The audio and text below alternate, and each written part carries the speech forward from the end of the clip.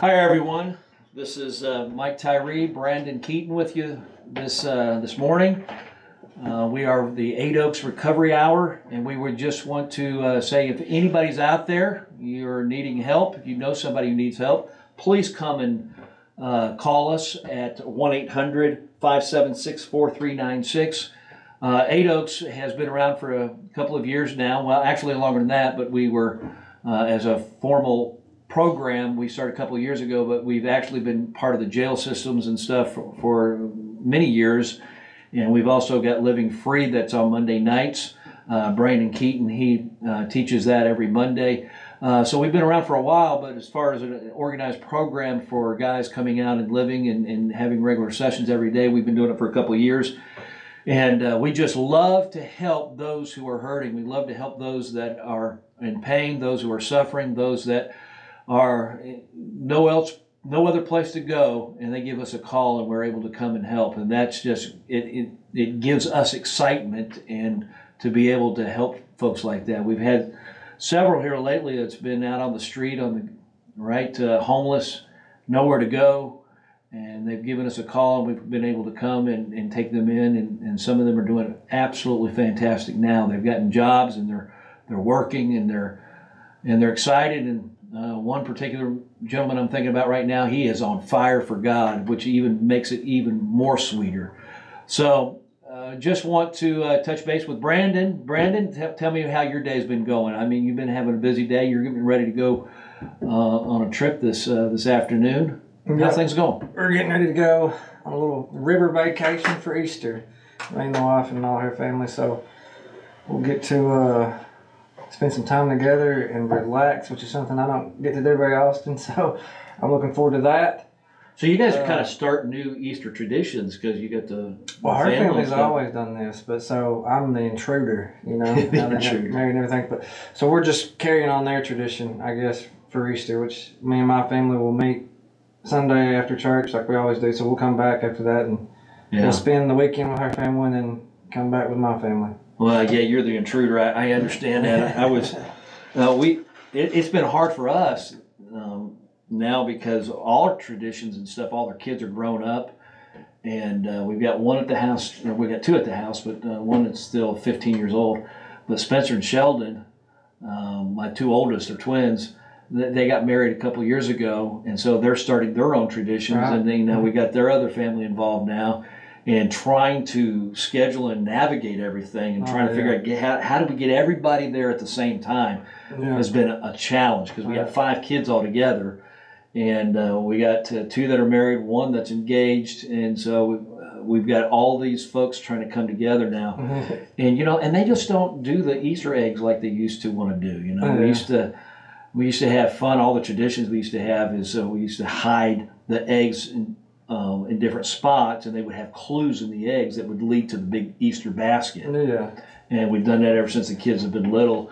And uh, it's just not the same no more, you know. So Yeah. our traditions are changing, Well, you and they're so- to get you some grandbabies though. getting grandbabies, and we're going to train them in the ways of mom and dad, Yeah. grandma and grandpa. So You'll yeah, have a grandbaby in what, 11 weeks? yeah, yeah, about like that. It was ten weeks. No, it's less than that. I think ten Nine weeks, like that? nine weeks. I think we're Yeah. down nine or ten weeks now. Yeah, oh, that's so awesome. So she'll gonna have our first grandbaby. I said it's about time. she'll be running after Easter eggs in a year. Absolutely. So Easter's coming up. We're uh, we're excited. I, that's one of my favorite times of the year, as far as springtime, new creation, new things happening, and a proper time for the for the Christ to come back and be resurrected. So I just uh, it's just a wonderful time. I mean, uh, Christmas is a, is a cool time of the year. But when you talk about it from a spiritual perspective, a religious perspective, Easter's got to outweigh uh, Christmas for me because everything that Christ was born for was done on Easter. You if you know, understand what it did for your salvation, it's everything. So absolutely. it's it's a whole lot more weighty to me because you, you're truly remembering what he had to go through so I can live in the freedom that I live in today, which is huge. You know, Mm-hmm. for me to every aspect of my life, it's it should be me remembering what Jesus did on the cross for me.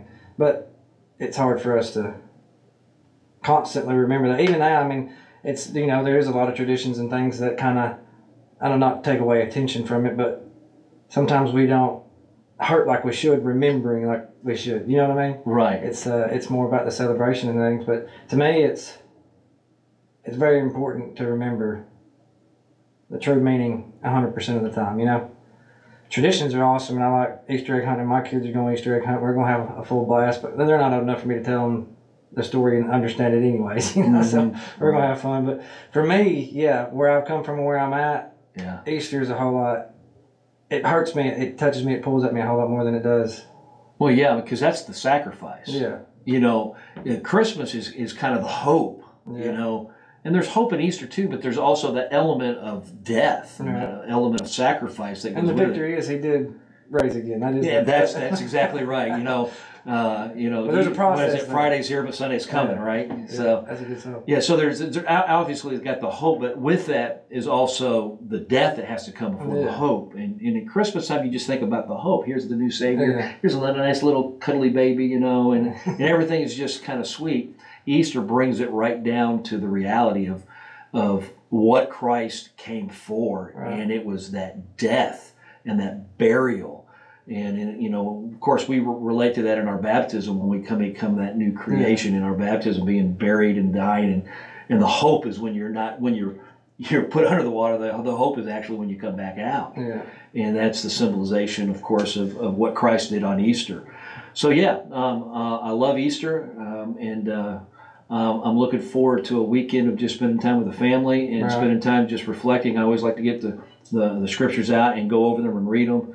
And communion me- means more. Everything seems to be Right. more, uh, mean more at, at Easter when it comes to uh, uh, those those practices. So. Right. Yeah, so I'm looking forward to that. Today, um, again, if you need help, 1 800 576 4396, or you can also reach us on our website, um, uh. So uh, you can reach us at one of those two places. We are there to help you. Uh, if you have a family member, we're there to help them. We're- just don't help. Uh, just put this in here too, in case you're you're wondering. We don't just don't help uh, the addicts. We have a therapist that also works with our families and brings the whole family together, and and talks with them if, if that's so desired. So uh, we have a pretty good program there to try to help the guys. Um, today, uh, I thought we'd talk about Brandon. Something that we talked about in our sessions early this morning was uh, something that is said in rehabs all the time. At least in our, ours, we do. And we say there's only one thing that you have to change in order to become sober. And I put that question out there, all the new guys, and they'll come up with a whole list of different stuff. But what we end up saying is there's only one thing that has you have to change in order to become sober, and that's everything. Now, digging deep into that, what does it mean by everything? What is everything? And we can get down and talk about, well, you, you got to give up some of your friends. That's it. That's part of everything. Know, you got to make sure that you don't have cash on your hands, you know, so that you don't be tempted to spend it on drugs or alcohol. So we can go through a whole litany of stuff like that, but it goes deeper than just, you know, giving up those things. Brandon, you know, I'm going to go a direction here. We'll go to John chapter 3 here in just a minute. But before we go there, you were there. I mean, this was your life. So when we say everything, what was everything in your life? So I knew 150% that I had to fully surrender my life to Christ. And, and what that means is literally changing everything about me.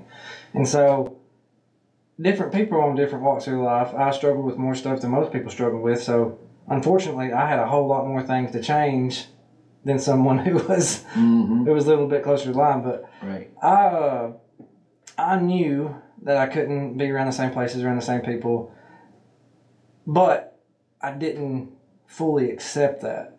So like even after I got sober, I would try to hang around some of the old people. I wasn't doing bad things or nothing, but and God would just gently remind, remind me like, okay, if this is where you want to be, if this is the direction you want to go, that's fine. But I have something far greater planned for you.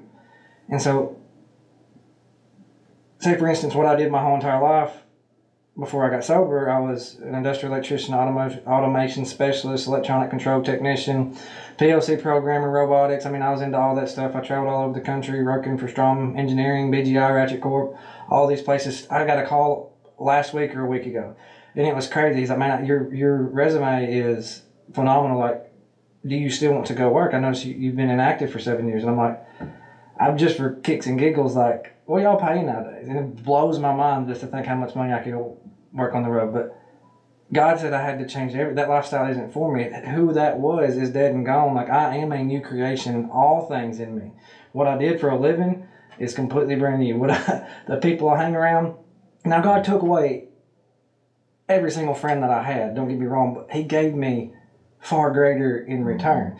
God said, "Okay, you can't work in these factories anymore," but He gave me something far greater in return. Right. He said, I can't find this type of women attractive anymore, but I can find my lady B attractive. It's a completely different mindset, completely, Right. completely different person, but far greater. So what you're saying is that it's not just. Um, I think a lot of times when the guys come in, when when we talk about everything, they think they think more of the mechanics of it, giving this up and not doing this, and and uh, changing this and changing that, but but trying to get them to understand that it's deeper than just the physical change. It's the way that we approach our entire life now. Yeah. It's the mindset, the thinking process changes, and my worldview changes, Oh, yeah. and the way my value systems change, and that whole process is different. And I and that's what you're describing. So, I mean, every. I begged and begged and begged and begged every single morning when I woke up, all throughout the day, when I laid my head down in the night, was was to hear like God, to speak like God, and to walk like God. Like those were the three things that I struggled with. And I just, the more I prayed about it, the more I prayed about it, I would say something. I was like, that's not very Christ-like.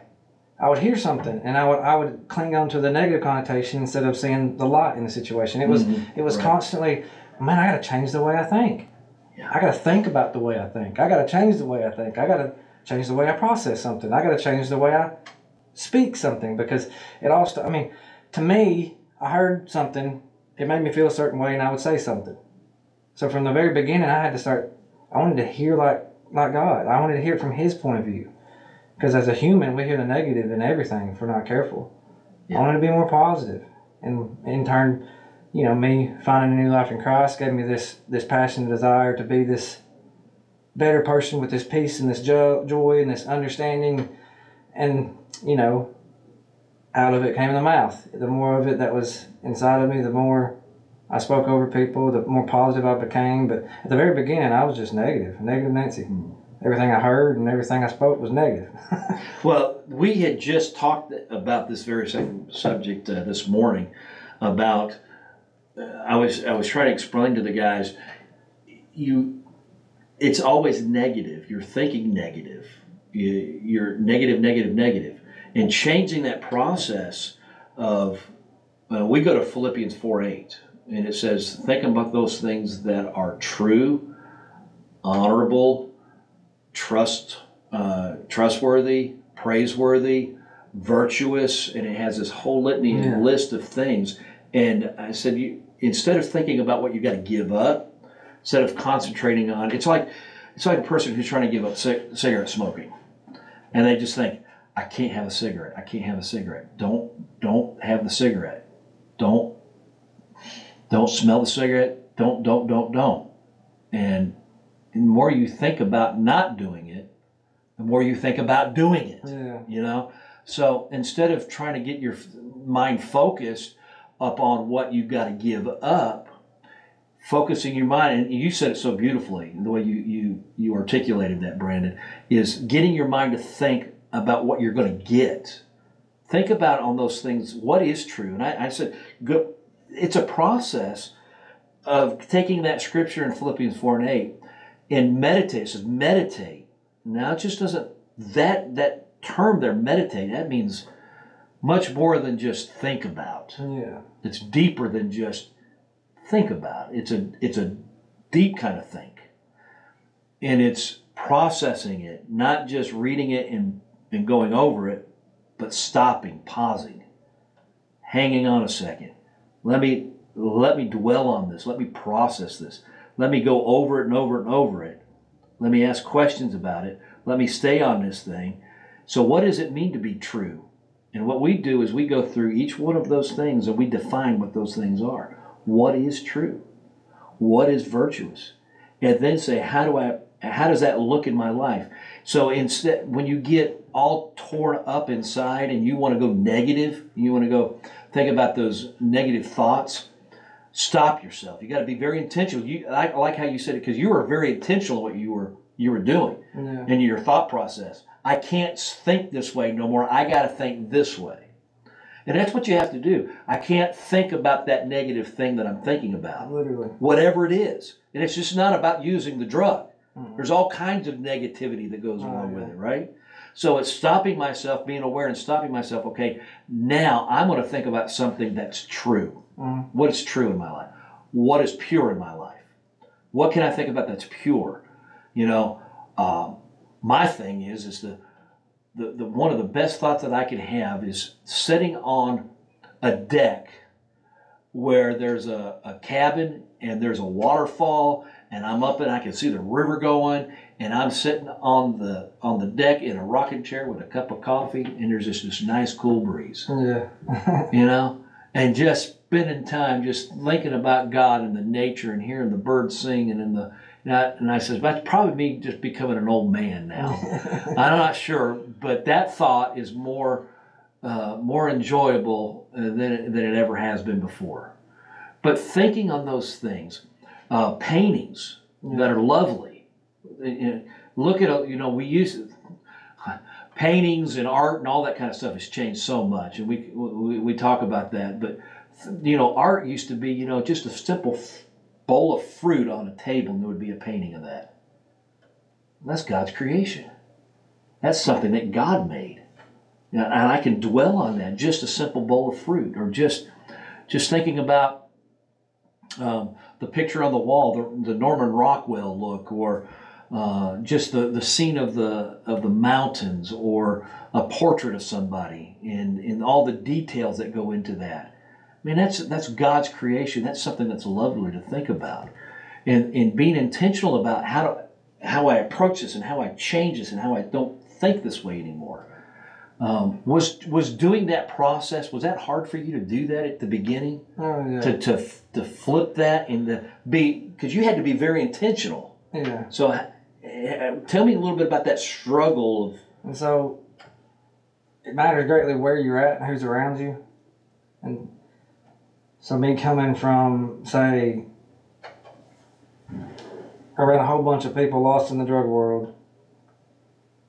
And even if people aren't calling you a drug addict or a needle junkie or a meth head, like you're labeled that in your head anyways, that's what you're hearing. Yeah. You're constantly being told whether people are thinking that or not. yeah, you're never going to be, the devil's telling you 100, 150%. percent Whether you're never going to be enough, you're always going to be this way, you're never going to get free, you're never going to get clean, you're Mhm. broken, you're washed up, you're nothing. Like you, you will never amount to anything. This is who you are. I've got you. My foot's on top of you. You'll never get away from it. That's that's literally the, the words that the, the devil speaks over you constantly.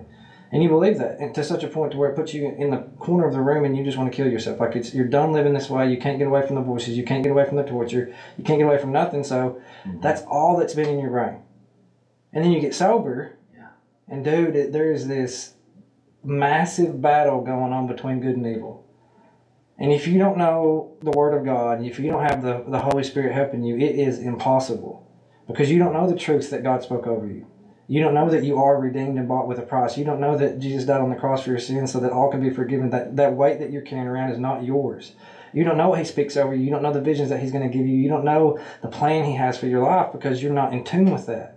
When you start to read the Bible, as I did in jail, as I started to remember all these things that my, my dad spoke over me, my mom spoke over me, my grandmother spoke over me, old youth ministers, old pastors, what they said I was going to be, who they could see me being in the future and being a minister and being able to preach the gospel and all the stuff that they told me, I started to remember. And I started to remember the Sunday school lessons and I started to remember how much I know about the Bible because I actually did know quite a bit more about than it. what you thought you did. But I chose right.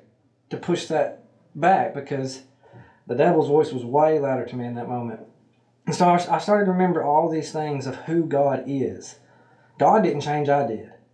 And it was still that constant. But whenever I started to produce a lot, I can, in fact, be healed and believe that. And I was healed of Crohn's disease, anxiety, depression. I was on tons of medications. I went to the doctor all the time because my small intestines couldn't fend for itself. Like, hmm. I believed God was going to heal me, and He did. No one spoke over me. No one prayed over me. No one laid hands on me. I, I don't know when I got healed. I don't know how it happened. I don't know, but I started to believe in my Creator, and there's power that comes in that. And once you believe in that, the way you start to think starts to be more like Christ, more Yeah. Christ-like. And so the, then the people that you surround yourself is so important. And that's what with guys like at Oaks, I don't know you from nobody, but I'm gonna speak life over you. I'm gonna tell you that you are a child of God. I'm gonna tell you you are forgiven. You are redeemed. God's got a plan for you and a purpose for you. All you have to do is walk in obedience to what He says, to what He He instills inside of you. Just obey, obey, obey. He loves you. He loves you. I'm proud of you. Golly, you know how many addicts never hear "I'm proud of you," or or this this one's extremely simple. Good job. Mm, You're never told that. yeah. Never told, and, and even so, you start getting clean, and you've hurt so many people that's important to you. They don't trust you. You're not forgiven yet. I mean, they may say it, but there's a process. And even though they see you doing good, it's hard for them to believe because, well, he's done this before. He's been here before. Now, my, my one thing I love about my father, and all my guys love, and Greeny, uh, Matt, every time he sees them, hey man, I love you. I'm, pr- I'm proud of you. Yeah. And I've, I've got that from my dad because I try to tell, and you know, in living free class every Monday, you hear these guys say that they're two weeks sober, and we want to applaud that, tell them how good of a job we. see. That may not seem like something monumental to people out there listening, but for a, an addict who's been lost Two to weeks. addiction for ten years, that is huge. Yeah, absolutely. But not nobody telling them good job. Their Mm. family, I guarantee, their family saying two weeks.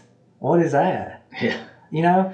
So being surrounded by people who are going to speak life over you constantly.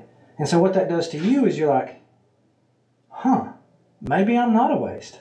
hmm Maybe I can do this. Well, I see Joe over here doing it. Maybe I can do it too. hmm And you, you, you hear people speak positivity about themselves That's good. in a circumstance where they shouldn't. And that's what starts to change.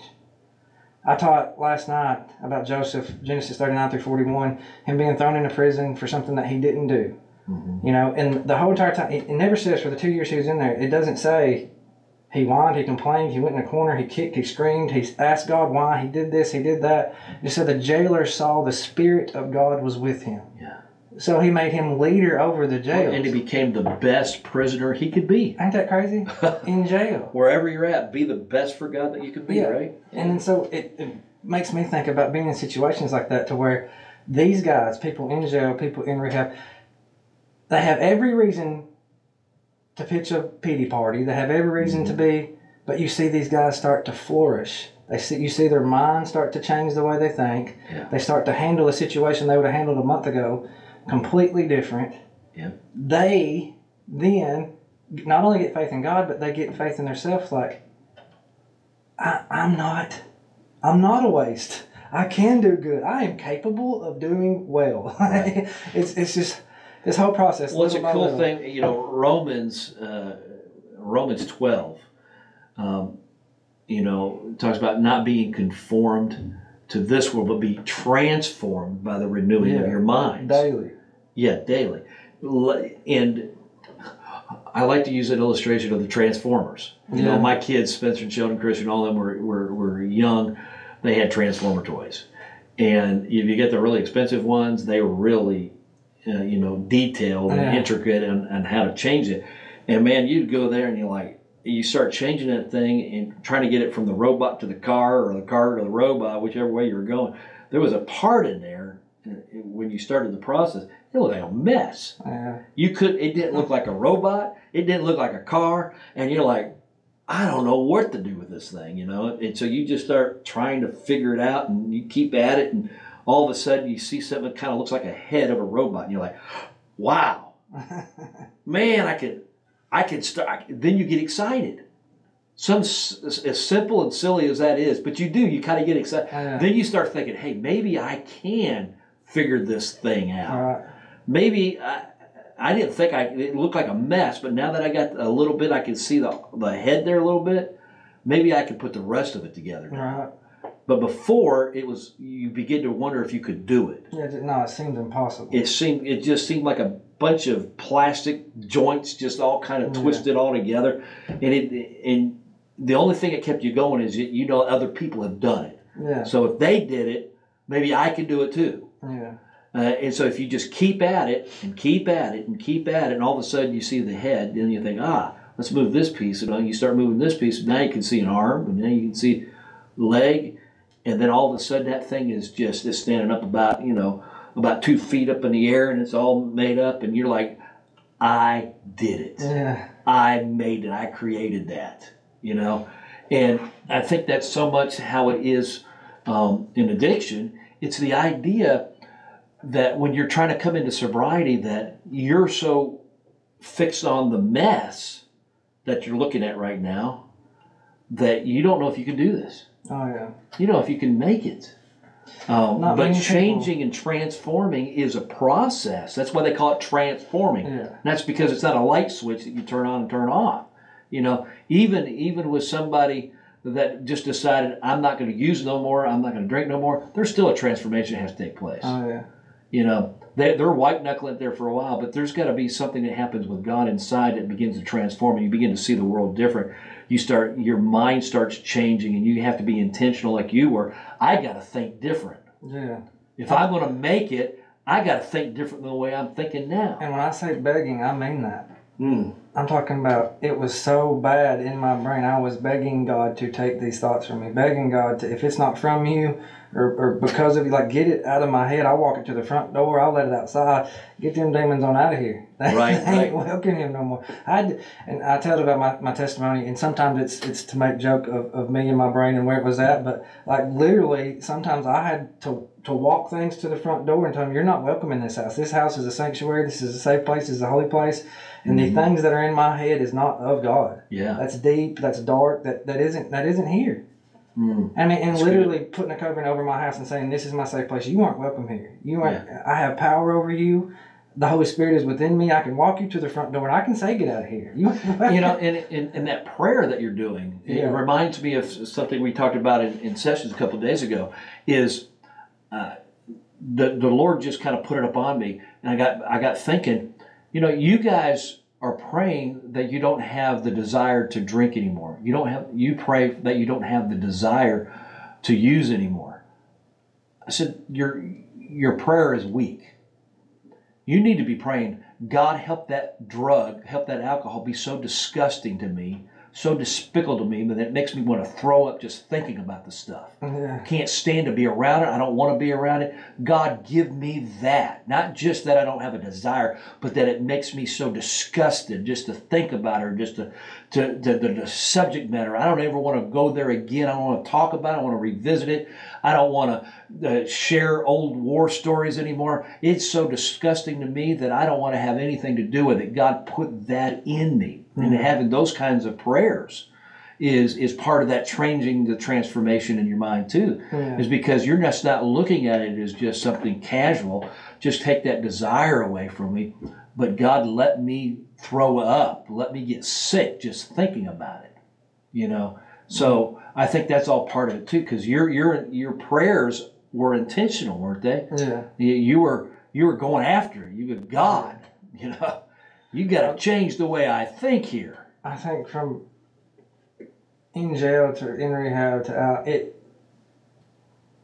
it developed a very big prayer life. I, I pray bold prayers because I know who God is. Mhm. And it's not me asking God to do something that's outside his will. It's it's more so me, me praying on the behalf of others or me praying that his will be done and, and that his spirit is evident in my life and let everybody I come in contact see stuff like that. But there's certain things that you got to understand, especially renewing your mind, is that it is a war, and the only person that has power to win that war is God. And I'm calling on the one person And I'm begging the one person who's got the power to change all that in my life, Right. to free me from all. I mean, I was in chains and bondage, just evilness. And I'm, I'm a super spiritual guy, and I literally saw it as demons attached to me that would not let me go. And the thing is, I invited them in. I told them to come hang out, stick around, walk with me, talk with me. But now I'm begging the Holy Spirit, you are all I want, and I will do whatever I can do to prove that to you. I, I will I will walk by your way. Anything you want me to do. Where you tell me to go, I'll go. What you ask me to do, I'll do. Yeah. I know I've lied to you for a long time, but I'm here to prove myself. I'm here to do it right. Just help me. Just help me. And just the thought process, man, of putting God in his rightful place. Without you, I am nothing. This is what I do without you. I desperately need you. I need your covering. I need your protection. I don't want to go somewhere where your hedge will not cover me any longer. All these things. I won't look at something.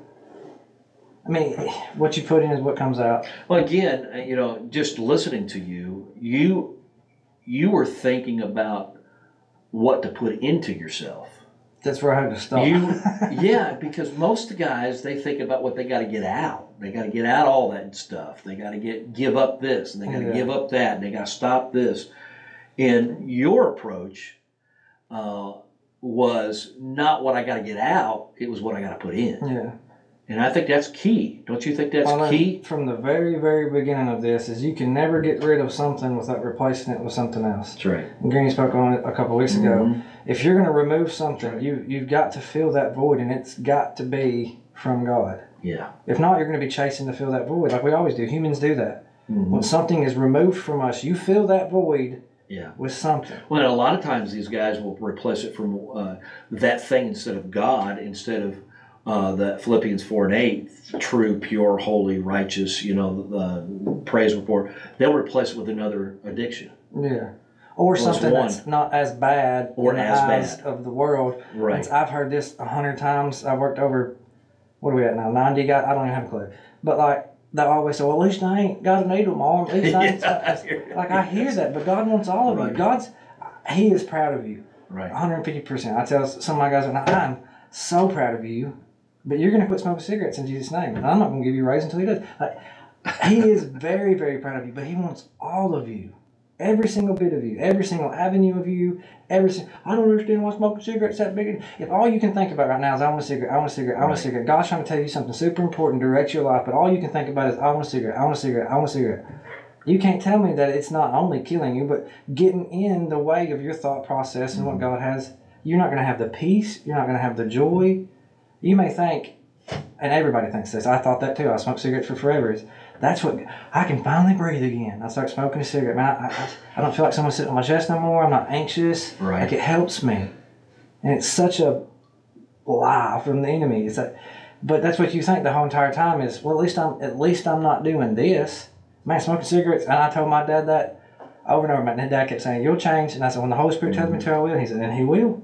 And sure enough, and he did. I love your you dad. know? Yeah. He's awesome. He, but I told my dad that, and I just now remember that. But so now my guys are telling me the same things I told my dad whenever he's. Right. His dad would always be on me. You don't need to smoke. I said, I know, but at least I'm not. And to me, I mean, it was. It's. It's. It's. You're changing so much, so much, everything about you, Yeah. everything. But our flesh wants to hold on to as little as we can, as much as we can, as, it- for, for some reason. I don't know. And I, I just always pick at them too. And I ain't picking at nobody that smokes cigarettes, but I, I always I was, like, listen. You're not, you're not going to wake up one day and think, man, I wish I didn't quit smoking cigarettes six years ago. That was a horrible decision. You're not going to say that. That's right. You're just not going to say it. Yeah. Like challenge me on. Yeah. Yeah. You know. Yeah. gonna That's funny. Yeah.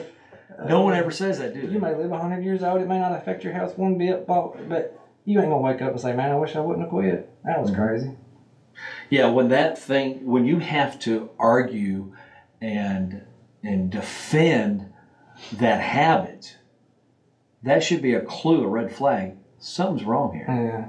Something. If I have to defend it to this extent, maybe there's something wrong with me. Yeah. You know, um,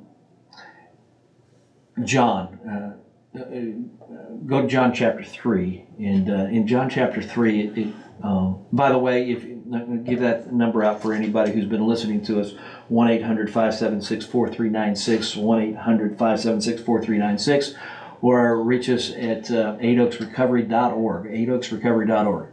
All right, John chapter 3. Uh, uh, we're going into the Easter uh, weekend, and uh, tomorrow, um, well, today, or it would be uh, today, um, actually, when this recording is, is comes to play, uh, will be Palm Sunday, or not Palm Sunday, be, uh, um, yeah, help me out, three days before Friday. Friday? Good Friday, thank you. it just totally left me. So Good Friday, be Good Good Friday, and uh, the whole reason why we have a Good Friday, the whole reason why we have Easter is because of John chapter three.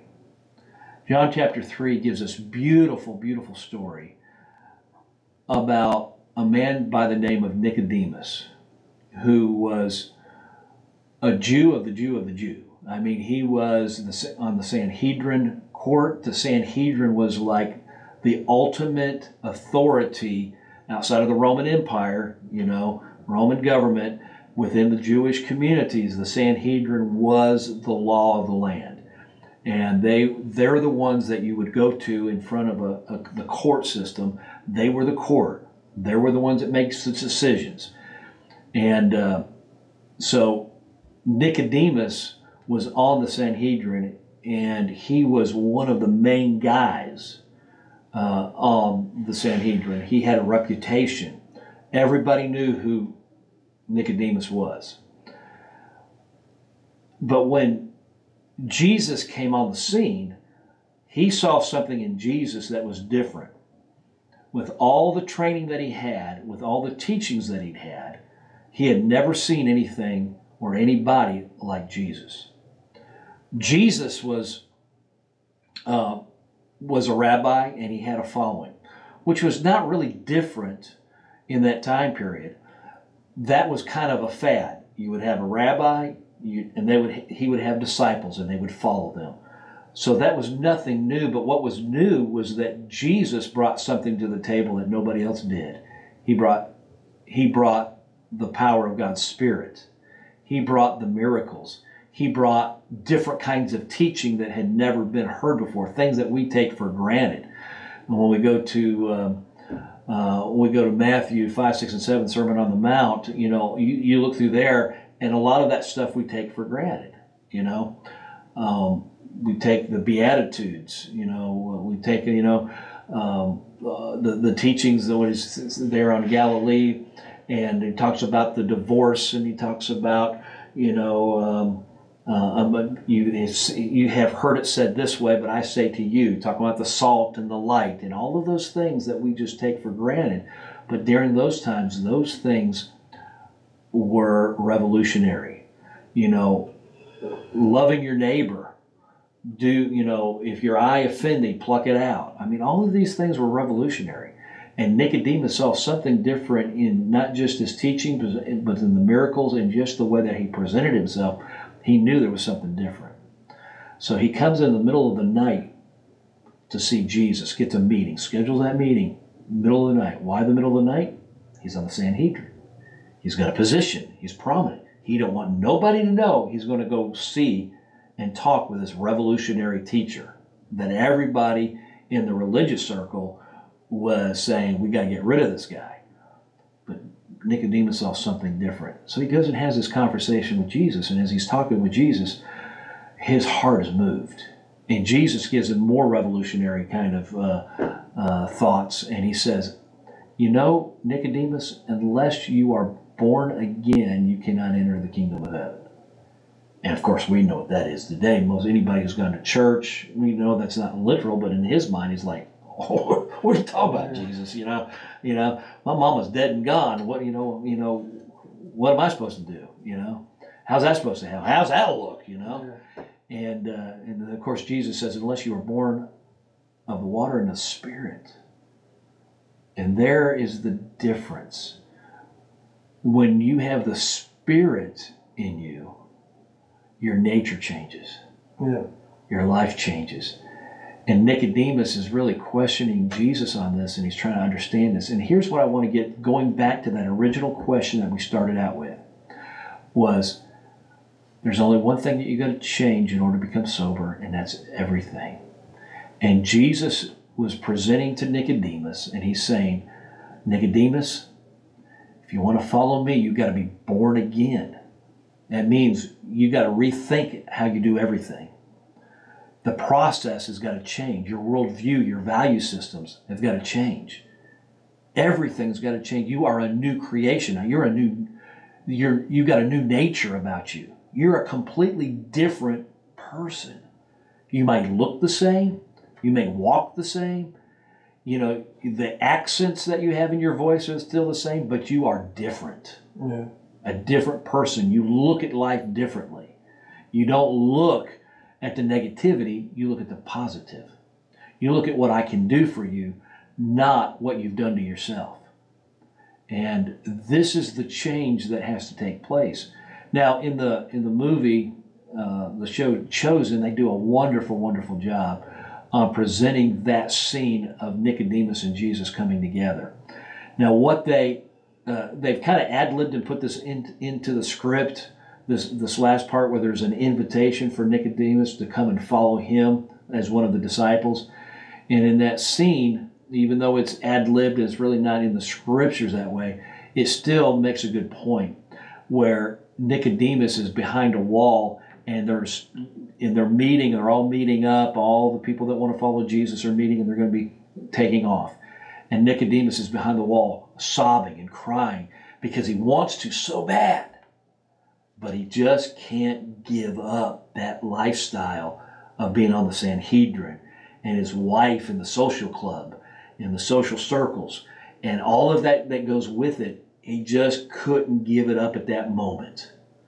And Jesus uh, and Jesus was just so gentle, and he says, "You almost came. You came that close. You came that close." And how many addicts come that close? How many guys that you've worked with have come that close? Right. And just and you thought, man, they're tore up, they're sobbing, they're crying, they're they're they they get the message, but there's just something that they gotta hang on to. That one thing they got just gotta hang on to that. Yeah. And and they're so focused on what they gotta give up that they're not focusing in on what they're getting and what they're receiving. And in that conversation Jesus had with Nicodemus, Jesus was sharing in, in the in the show chosen. Jesus is saying, "Yeah, you got to give up a lot. Yeah, you will. You're older. You know, you, you you've got established life. Yeah, you've got a lot to give up more than what most people do. Yeah. But what you're going to get back in return is nothing compared to what you're giving up. Me and my wife, even so, even after uh, being sober for four or five years, we were laying in bed one night, and I was like, "God's gonna ask us to sell everything and start over one day." And she was like, "What do you mean?" And I was like, "I just." I know God's going to test me to see if I'm attached to everything that I've built, or if this is my kingdom or it's His kingdom. And He's going to ask me to sell everything and start over. I just got this feeling like Mm. He's going to do that. And a lot of times I feel like God puts something in that to see if you're honest about yourself, anyways. And Right. sometimes He don't actually make you walk that out. Well, it was funny because The Isaac and Abraham Yeah. Isaac thing. absolutely. And then so mm-hmm. two years later, we're sitting there just torn because the place that we got engaged in, the place that we got married in, a place that I've owned for 12 years, a place that we never thought we would ever sell we'd honestly die there. Like we, we love that house, we love everything about it, and it, it wasn't working, which is so crazy because no matter what we tried, the boys couldn't sleep here, the boys couldn't do that. Ricker wouldn't stay upstairs, he was coming down the stairs. We had a couple scares of falling down the stairs, had to do this, had all these, all these just stuff that made no sense. And we ended up donating the house to Eight Oaks. We ended up buying it back. We ended up redoing it. We ended up moving into it. And it's like, Liddy B, when we get moved into it, she's like, You remember when you said you going to have to sell everything and start over? And she was like, We literally had to say, I mean, it was, it was extremely difficult on us. But here was the, here was the vision. So we sold something that we absolutely, ain't sold it, but we, we, we literally moved out of something that we love. And I go up to that house and I'm like, Holy smokes, are we cra- why, why did we move out of this? But it's because where God's trying to take us, and we aren't going to reap these benefits till 20 years from now. We won't get a house like that again for 20, or probably, but it's where he's trying to take us, there was something so much more important than where we were living. And we couldn't see it like in the moment or while we were having to move or while we were having to relocate, but it was God has something so much greater for us than how big our house is. Does that make sense? Mm-hmm. Something that we never thought we would let go of, something we never thought we would get rid of. But God says, in order for me to take you where you're wanting to go, we have to rearrange everything. And so we did, and we still haven't made it to the to the end of that little journey. And so that house, but it's still something we never expected God to ask us to do.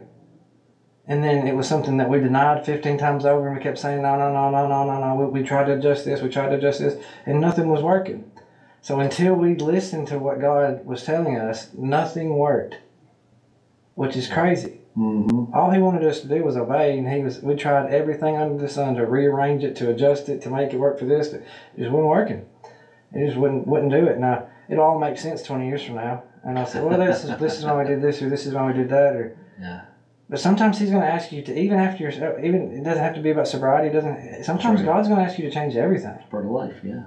everything. So your walk with God, that's out that's that's the journey that we're on, It right? is. Yeah.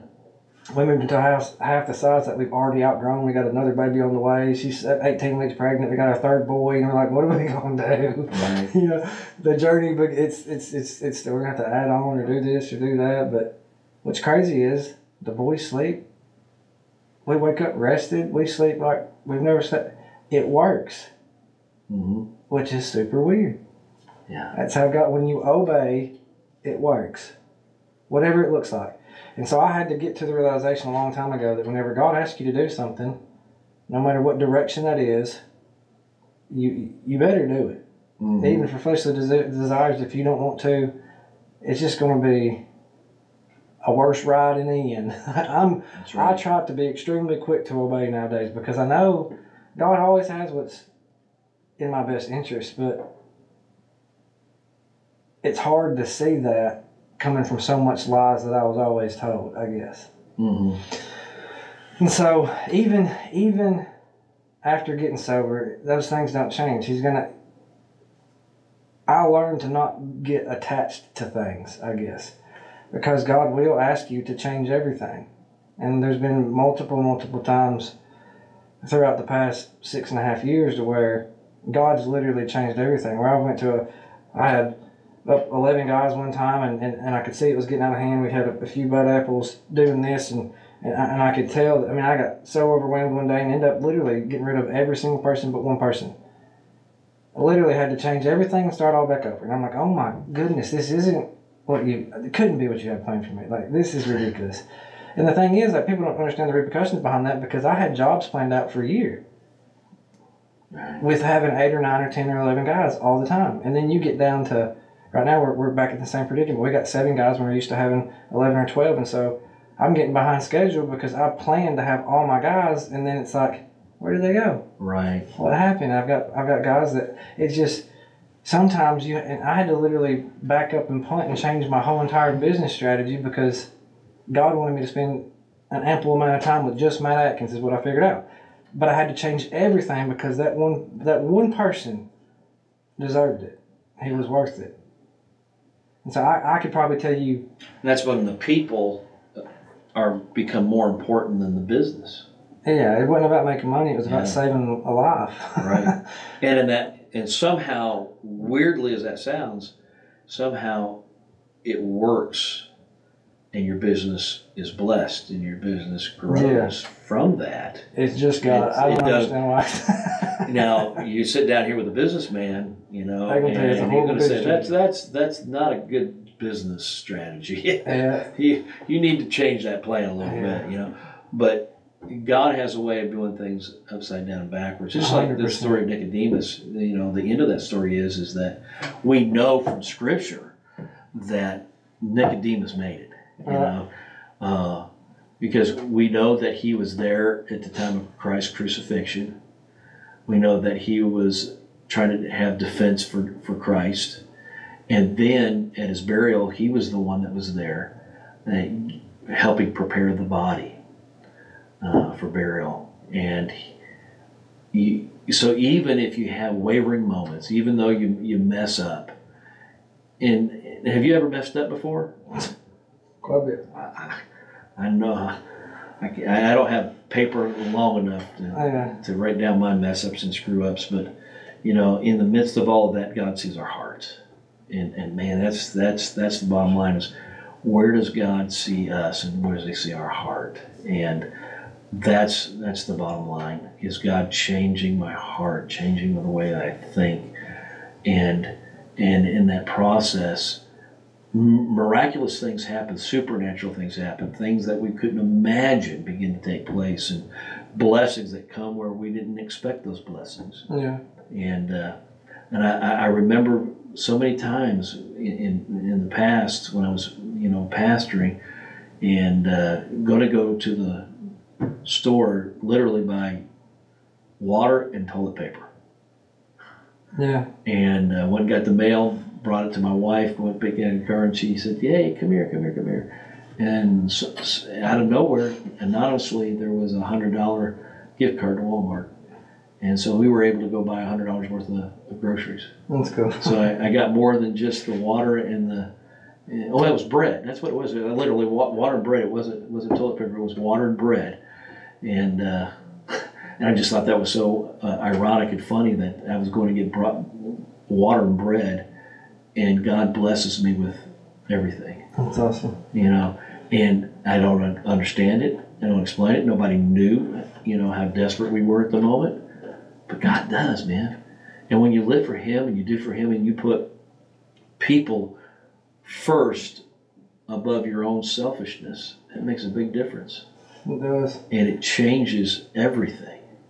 So even even from everything, meaning starting on the inside with we talked about our thought process, which is hundred percent the first thing that's gotta be changed to the people you hang out with, to the things that you're watching, the things that you're looking at, the things that is being inputted, to even the type of stuff you eat.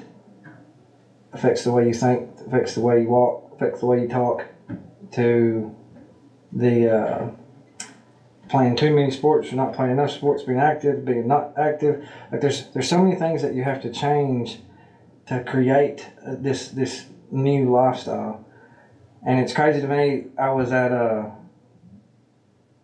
I was at a, a hardware store on the north end of town, and a guy I've seen a hundred times, grew up with his kids.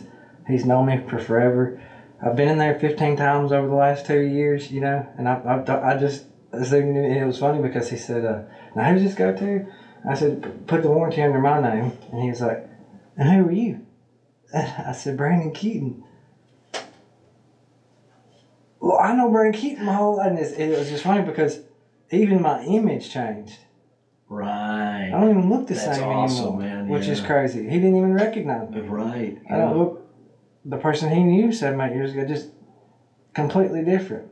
Yeah. Which is weird because you even changed your style, the clothes you wear, I mean, everything Mm-hmm. about you. And you don't even realize you're doing it. Right. Just God changes everything, Yeah. which is so, so cool because once you, you surrender, you surrender, God changes everything. hmm Our job is to surrender daily, anything and everything. Yeah. God will literally change everything, which is so cool to see that process take place in young men and women's life. Or oh, it- it's it's it's the most. I don't know. It's it's like you see a miracle take place, but it's over a couple chapters, not instantly. It's it's just mm-hmm. a super rare thing to see. But when you see it take place, and it's over the course of months or even years, but like you have witnessed something and been a part of something that not many people get to see, and hmm. it's just it's truly God's hand performing a miracle, little by little, every single day, which is everything. That's it. Everything. Yeah.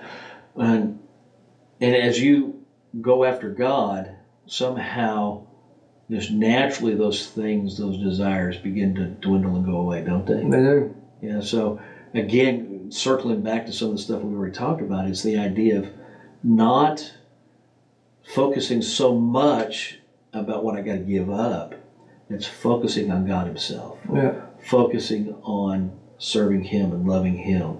And as I get closer to Him, the, those other things naturally begin to desires begin to go away until they even make me dis- they, they're disgusting to me do. those things and he becomes prominent in my life and now i want those things and i desire those things. So we're circling right back to that. If we want to give up everything how do you do that? You you start meditating upon him. You start meditating upon those things that are righteous and holy and pure and virtuous and honorable noble you know those things. Yeah. if I start getting my mind flooded with those things in my life, God becomes more sovereign in my life, becomes the ruler of my life, and I'm not the ruler anymore. And so those negative thoughts begin to pass away. They don't become as strong. They get weaker and weaker and weaker and weaker.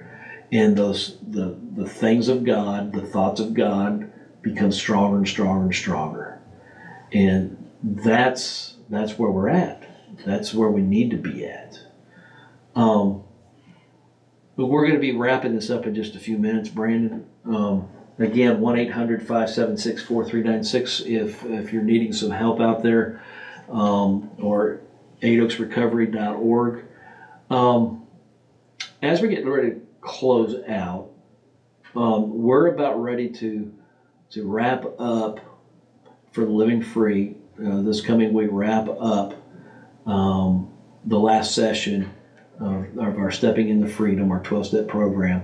Uh, the guys, what have you seen, the growth that you've seen in these guys over these last uh, 11, 12 weeks? And, uh, and the guys are looking forward to it, by the way. Everybody out there, when he gets done with the course with one of our books, Brandon takes all the guys over to his house and he cooks them uh, brisket, fixes them um, Full beef tenderloins. and Yeah. rib- Or tomahawk. tomahawk, yes. Jalapeno popper. And I'm telling you what, my mouth is like my mouth is drooling right now Yeah. just thinking about it. The guys love it, and they've already been talking about it. Yeah. So uh, it's a ti- time of fellowship, a time of uh, socializing, awesome. getting together, and realizing that there, you can have fun outside of the drugs.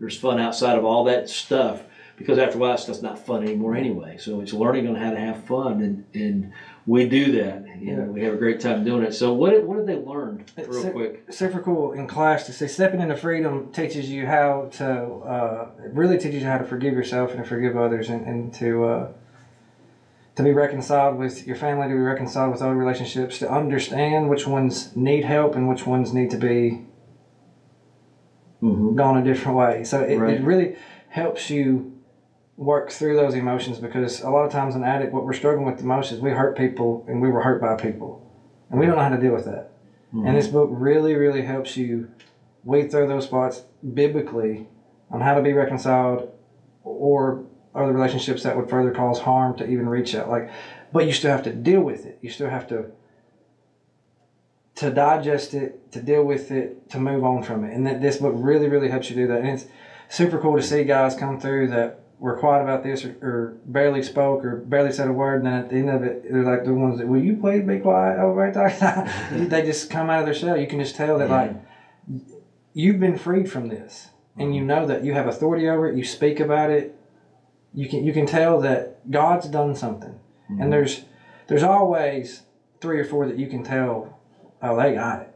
But then there's always, you know, it just it just depends. It's it's super cool to see the light bulbs go off and, and guys guys truly learn how to That is forgive. definitely that is definitely one of the greatest uh, joys and benefits we have doing what we do with the guys is to see that light bulb. yeah, Ah, It's so cool, It man. is. Just to see, I got it. you know, their head down, all discouraged, depressed, and then slowly by slowly you see that hope, and all of a sudden, boom, Yeah, it, it clicks, and that's just so exciting. is. So, uh, So every Monday night, six o'clock, living free. We eat at six o'clock, and then we have a lesson six thirty to eight. So we would love to have anybody that would want to come join us. We won't be there. The next Wednesday we'll be at my house, but then we'll pick back, back up. up. That'll be uh, April the eighth We'll be. April the eighth. We'll start a brand new, brand new book, brand new twelve week program. So One last thing before we, we call it, um, we're, Brandon, I'm thinking about having, uh, uh, one of the ladies, a couple of ladies or something, Yeah. uh, coming on the radio program on the, on the, uh, on the ladies' side, so Yeah, that they be can awesome. talk about the, right, uh, living free on the, on the on the women's side. So I know that they do a lot of stuff with the jails. Oh, yeah. They do a lot of stuff, uh, really personal one-on-one with the ladies. So they do a great job. So we're thinking about trying to have uh, some of them come on and share their stories. So folks, we appreciate you, all the listeners out there. Just keep Eight Oaks in mind if you want to help out in any way. Give uh, donations. Uh, give your time. Uh, donations of money, donations of, of clothing, uh, hygiene products, food, whatever it might be. Where we are, we are in need of that all the time. It's constant. So just be praying for us. Also, we're starting our work program. We've got it going. We're we hopefully open up our new our new house here pretty soon. So just keep us in mind. Keep your prayers with us.